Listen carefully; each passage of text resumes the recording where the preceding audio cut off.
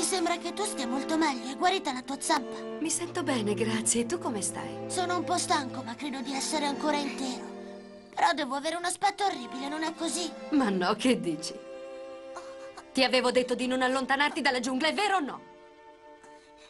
Ma dai, mamma, ho seguito Keruru. Te l'ho detto, lui è un leone molto in gamba, dovevi vederlo. Ha messo a terra un uomo tutto da solo. Kimba, invece di aggredire gli invasori, non ha fatto altro che scappare. Lui non mi piace, è solo un codardo. Da grande voglio diventare forte e coraggioso come Keruru. Ah! Mamma!